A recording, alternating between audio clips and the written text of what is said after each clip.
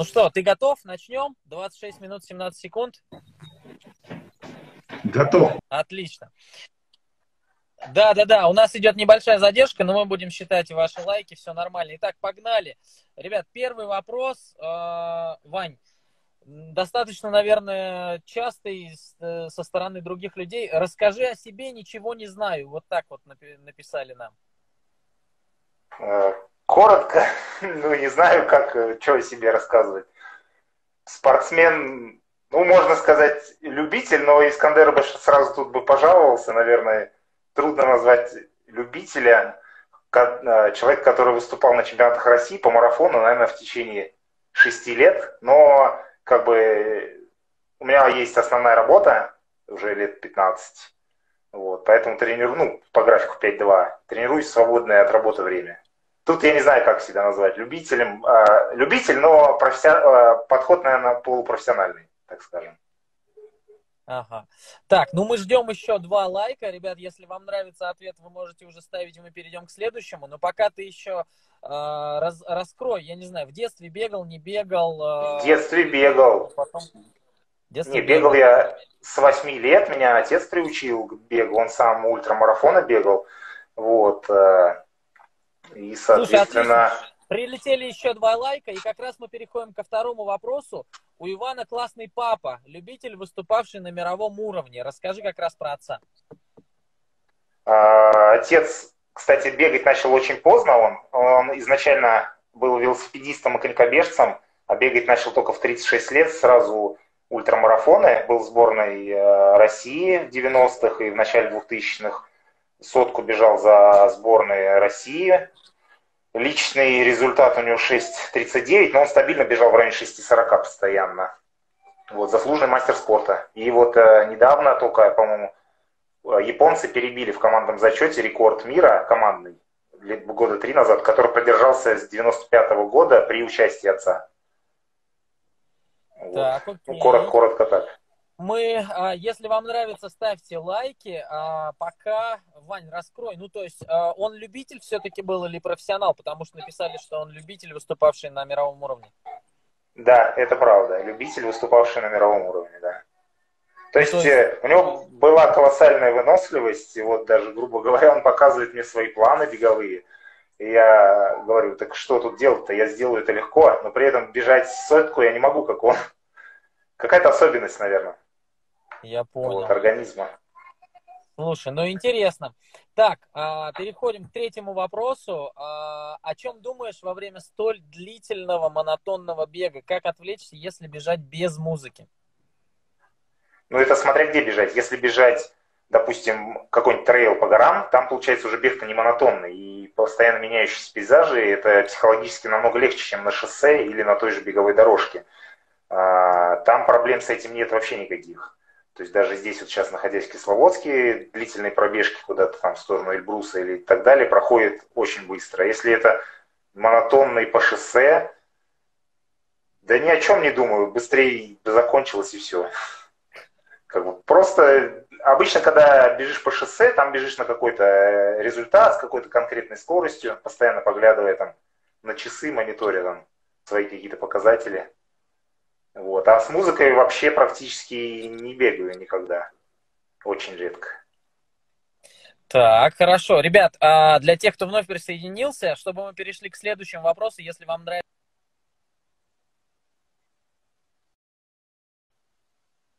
лайки, и а, мы продолжим дальше. А, Вань, а, следующий вопрос, а, пока переходим. Много ли подписчиков пришло после рекорда? Что этот рекорд значит для тебя? Ну, подписчиков пришло дофига, я не знаю, сколько там даже. Ну, тысячи, полторы точно, наверное, тысячи полторы.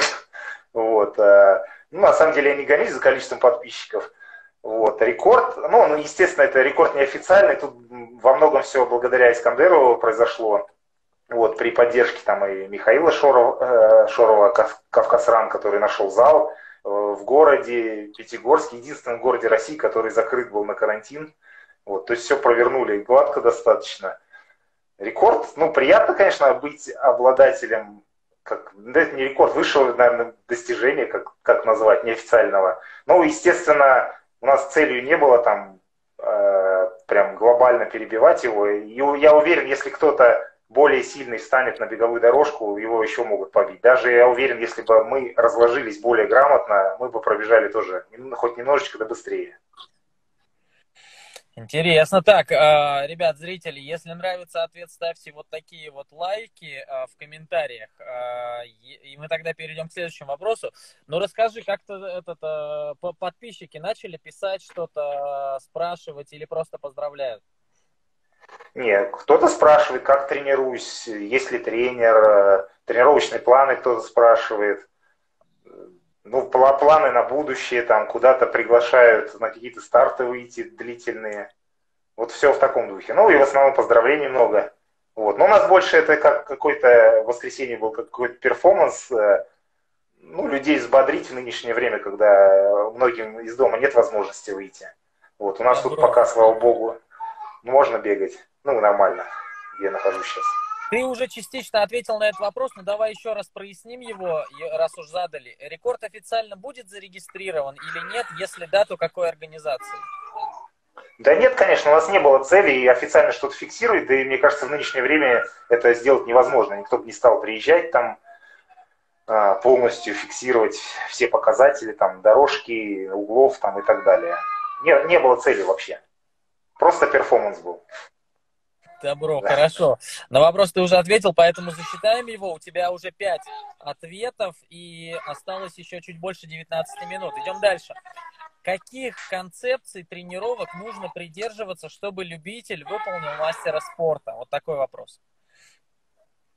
Вопрос сложный. Наверное, не каждый любитель сможет выполнить мастера спорта, наверное. Тем более, во-первых, надо понимать, на какой дистанции это выполнить.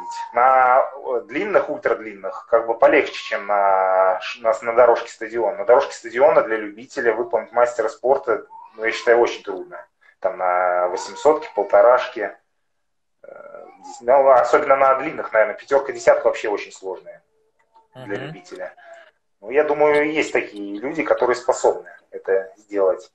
А концепции тренировок, ну, вот на ультрадлительных там, там меньше, э, меньшее значение имеет, как бы, наверное, как сказать-то, э, способности, наверное, там больше психологические аспекты, то есть умение терпеть, терпеть и терпеть. То есть там скорости не такие высокие, те же, допустим, сотка или сутки. Э, ну, сутки я не буду рассказывать, я просто в них не соображаю ничего в сутках. Вот. Но мне кажется, если просто уметь терпеть, то сутки можно бежать по мастеру. Там 240 километров, это по 10 километров в час средняя скорость. Вот. Слушай, концепции, интересно. концепции тренировок просто надо иметь какой-то план четкий. Желательно тренироваться в группе, потому что одному тренироваться очень тяжело. Это очень тяжело себя заставить. Особенно делать скоростные какие-то работы. Вот. Но может на ультрадлинной там скоростных работы не очень нужно. А она, конечно, на дистанции от марафона ниже, без скорости делать нечего. Хорошо. Так, мы еще ждем буквально два лайка, ребят, ставьте, а мы пока перейдем к следующему вопросу. Седьмой вопрос. Как э, Иван в течение года сочетает беговые и лыжные тренировки? Используешь ли лыжи-роллеры? Ну, лыжи у меня больше как бы для отвлечения от бега. Во-первых, в лыжах у меня получается разгрузить опорно-двигательный аппарат, там нет ударной нагрузки, а сердце-то работает абсолютно так же, поэтому весной, когда лыжный сезон заканчивается, мне всего лишь надо разбегаться. Вот. Э, сердце-то также работает. Лыжероллер не использую вообще, у меня их нету. Я катался раза три, наверное, на них. Там бывают какие-то медленные колеса, быстрые, в общем, какие-то средние были. Я проехал километров 50, не очень устал, и понял, что какая-то это не такая подготовка, какая нужна. Все-таки это даже отли, а, отличается от лыж слишком, лыжероллера. Вот. Так, отлично. Как раз у нас прилетел третий лайк. Давай, чтобы больше вопросов, я задам следующий. Слушай, опять возвращаемся к теме этого рекорда. А, как ты вписался вообще в челлендж с Искандером и на что рассчитывал? А, расскажи, как вообще история началась и закончилась. Ну, так получилось, что мы оба оказались в городе Кисловодск. А, вот у меня сейчас отпуск, у него тут удаленная работа. Вот, как-то пересеклись. Э, он говорит, хочешь на беговой дорожке пробежать марафон? Я говорю, а что нет, то давай. Вот. И тут же, по-моему, у меня родилась идея, я говорю, а может полтинник, там вроде какие-то рекорды не очень какие-то быстрые. Так это ты придумал? Ну, по-моему, я сказал полтос, да, вроде да. Там речь шла, Алексей Смертин же марафон собирался бежать, и да, Искандер да, говорит, да, марафон. А я говорю, так давай полтинник за три часа уложим, и все. Он говорит, давай. И мы там тут же начали мониторить результаты в интернете, сколько-сколько, и буквально на днях в среду да. вот этот ориентировщик бежал. Мы пос посмотрели, он там пробежал буквально на что-то на 50 секунд быстрее, чем предыдущий рекорд. Да. Кстати, про предыдущий рекорд устанавливал этот Флориан Нойшвандер, который в прошлом году Винс Life тоже бежал, и он был третий. Я в прошлом году выиграл, он третий был. Ну, я понял, да, что нет, я думаю, подъем. Вот как бы непонятно было, на беговой дорожке столько не бегали раньше, поэтому непонятно было, э, как разложиться правильно. Угу. Ну, все гладко прошло, как надо. Отлично. Так, мы ждем еще один лайк. Меня зовут Вадим. Кто-то спрашивает, Ваню уже 100% все знают, мировой рекордсмен. Мы пока переходим к следующему вопросу. Долетит сейчас один лайк, я думаю. А, опять же, а, после... Э, а, расскажи про утро после рекорда. Проснувшись, ты подумал, что ты супер крутой? Я могу рассказать про ночь сначала, потому что меня обычно мучает бессонница после длительных, и я не мог уснуть. Я думаю, чем заняться. Решил пересмотреть эфир еще свой на канале Бег Вреден. Поэтому еще три с половиной часа я посмотрел, и только где-то в 3.30 ночи я пошел спать. Спал в этот день часа два с половиной, потому что в 7 уже проснулись раньше даже семьи проснулись дети, и пришлось вставать. Вот. Да нет, какая, никакой звездной болезни я не страдаю. Какой супер крутой. Обычный. Я же говорю, этот э, рекорд э, по силам перебить точно, без проблем. Вот. Я думаю, даже если мы бы задались с Искандером еще раз, и там через месяц стали бы, мы бы уже знали, как бежать. Вот. И могли бы еще раз побить. Может, не намного, но я думаю, смогли бы. Отлично. Так, ребят, э, да, очень интересно отвечаю. Вот прилетел третий лайк. Э, давай следующий вопрос. Э, десятый уже у нас вопрос. Расскажи, какие планы были и изменились в связи с пандемией на этот сезон? Планы, конечно, изменились. У меня первым стартом сезона обычно вот идет Wins for Life, уже пятый год подряд. Я собирался ехать в Перу бежать так как я больше как бы, ну, все-таки любитель, поэтому любить и плюс любитель попутешествовать, хотел заодно посмотреть континент на Южной Америке я был в Бразилии, а в Перу вот хотел посмотреть вообще саму страну, но все поменялось, старты отменили, соответственно, а отпуск уже был запланирован, поэтому я вот, собственно, 29 марта приехал в Кисловодск, где нахожусь по сей день. Как-то так. А так дальше планы Какие планы будут? Да будут. Э, ну, я не знаю, когда вообще старты появятся, будут ли они вообще летом. На, на лето планировал Golden Ring Ultra Trail пробежать. Э, вот пока зарегистрирован на 50, но подумываю, может быть, и на сотку выйти вместо полтинника. А, после того, как отменили Wins for Life, еще была надежда, что проведут Дагестан Wild Trail. Думал там полтинник пробежать, но его тоже отменили уже вот в первую неделю апреля. А так под, под осень, в зависимости от спортивной формы, либо будет выносливость, либо скорость буду развивать. Там вот, думаю, либо московский марафон, либо чемпионат России на 100 километров. Пока сам даже вообще ничего не решил. Буду Отлично. Смотреть. Так, нам э, как раз прилетает э, сейчас один лайк мы еще ждем, но переходим пока к следующему вопросу, чтобы больше успеть. Давай еще раз затронем тему. Э, ты считаешь себя любителем или профессионалом? Ну, все-таки любителем, конечно, наверное. Как? Ну, как-то раскрой, Такая... почему, э, как, какие ты видишь принципиальные различия между любителями и профиками?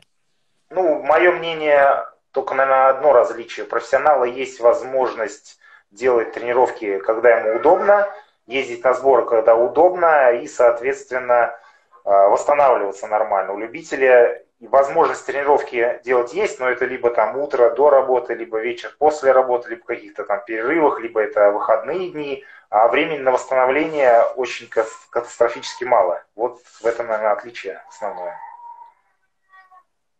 Вот. А то, что там какие-то ставки, зарплаты, это я не считаю, что какая-то раз, разница есть у кого-то одна работа, у кого-то другая работа. Вот. В принципе, любитель ну, может а... делать даже работы как профессионал, но восстанавливаться он так не сможет. То есть нет возможности поспать где-то днем, вот, как-то так. Массаж сходить когда угодно. Искандер, любитель в итоге? Ну, я считаю, он... на удаленке стал профессионалом, так как восстанавливается часто. Не, ну на, на удаленке можно сказать, что на, на удаленке можно сказать, что я профессионал, потому что вот получается в отпуск приезжаю вот в Кисловодск, и у меня тут план свой, соответственно, два раза в день я тренируюсь, и утро, и вечер. Сейчас, правда, на изоляции один раз в день выхожу, больше неохота, а вечером иногда в квартире какие-то упражнения делаю с резиной там и так далее. Вот. Искандер, э, мне кажется, в абсолютно такой же ситуации, как я. Вот. Просто единственное, может быть, график работы у нас разный. У кого у него там, ну не знаю, бывает, что у него утром вроде тренировки он успевает сделать. У меня нет возможности утром, я делаю вечером. То есть под, просто подстраиваемся под э, возможности свои.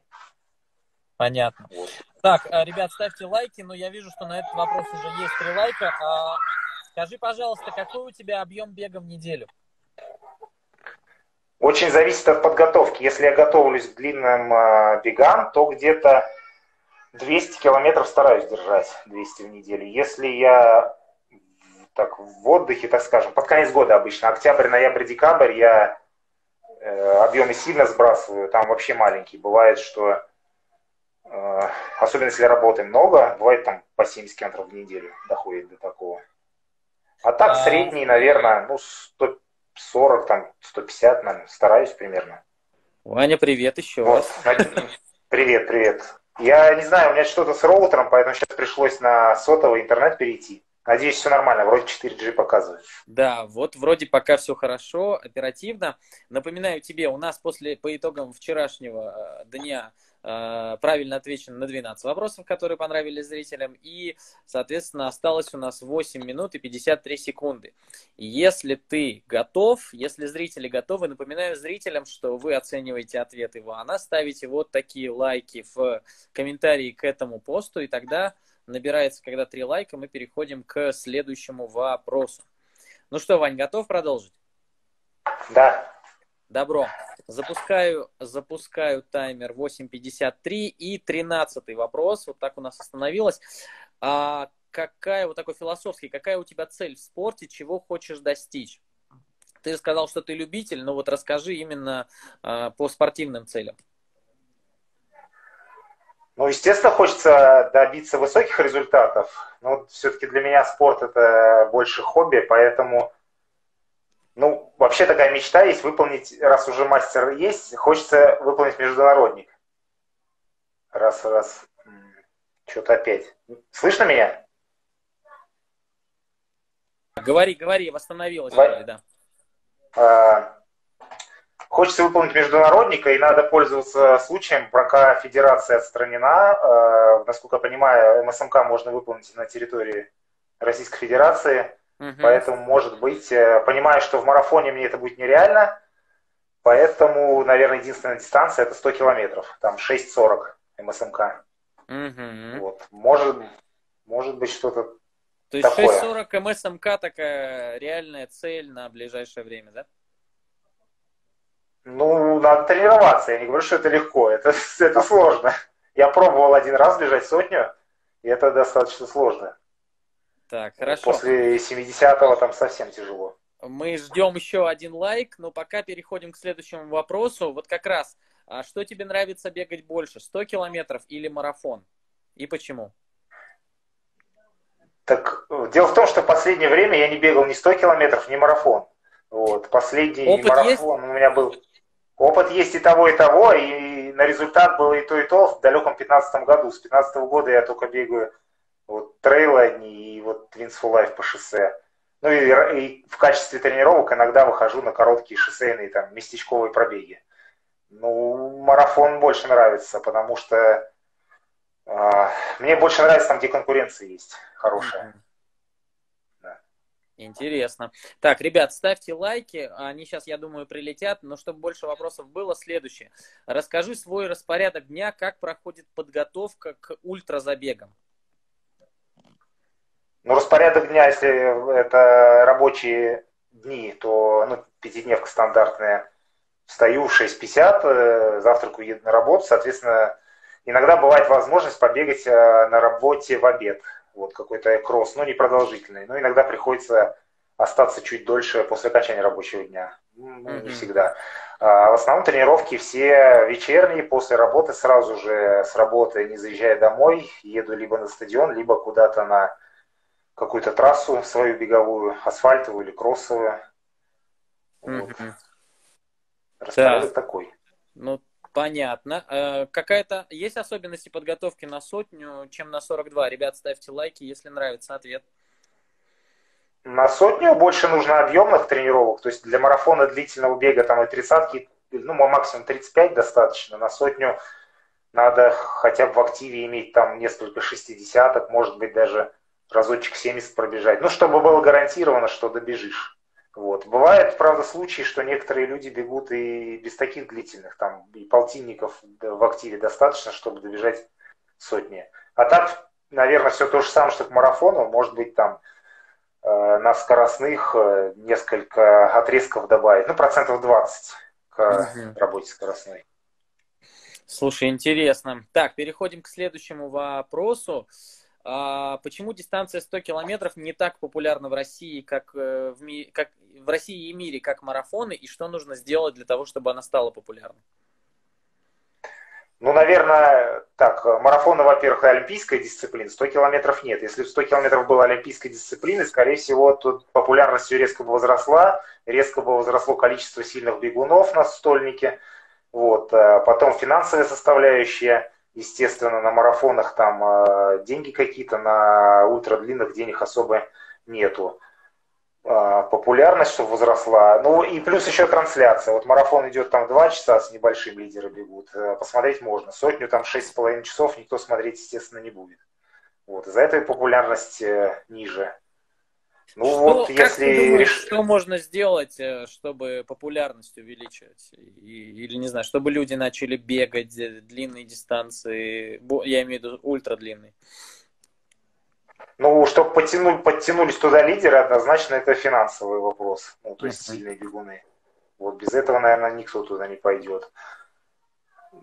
Ну и побольше, наверное, пробегов. Получается, в России-то кроме чемпионата России, э, ну и Кубка России, наверное, больше ничего нет на сотню. Uh-huh. Вот. Ну, такие еще есть мелкие, где там совсем немного народу собирается. Uh-huh. Uh-huh.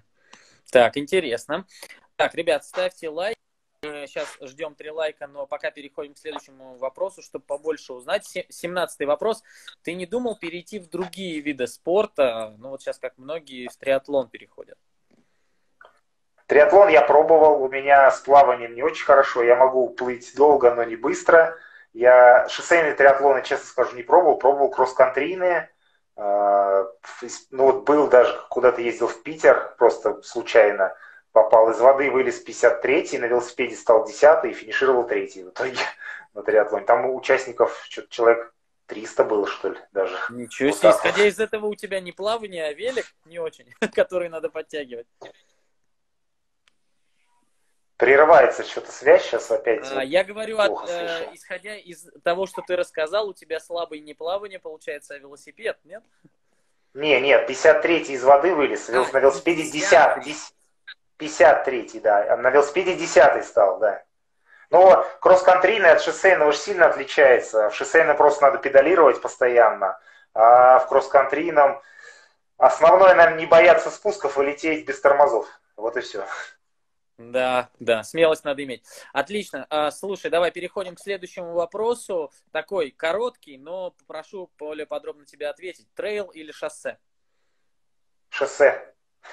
Ну, Вопрос короткий, ответ длинный нужен. Чтобы люди... Ответ длинный.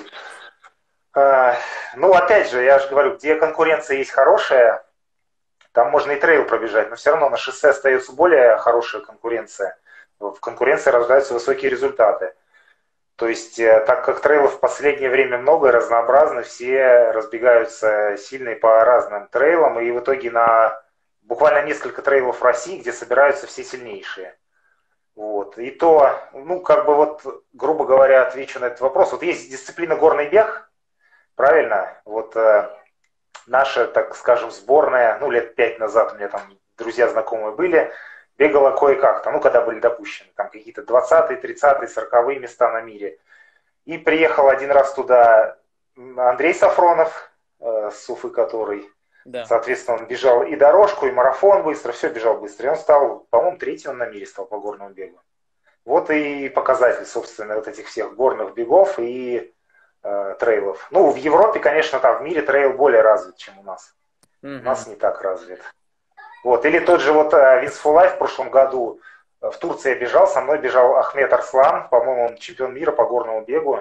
Ну, конечно, он сейчас уже подзавязал, но он просто на там, 35-м километре отвалился и все. Угу. Интересно. Ну, то конкуренция, есть шоссе конкуренция. все-таки э, сильнее ребята, да? Шоссе сильнее, да. Понятно. И твой выбор шоссе?